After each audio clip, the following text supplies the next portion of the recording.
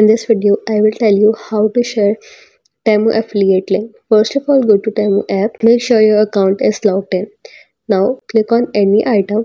Here you can see share option on the upper right corner. Click on share option. Here you can see copy link option. You can simply copy the link from here and share it with anyone. It will also show you some social media app icon here and you can directly share it. Similarly, you can follow the same steps for other items. If this video helped you, please subscribe.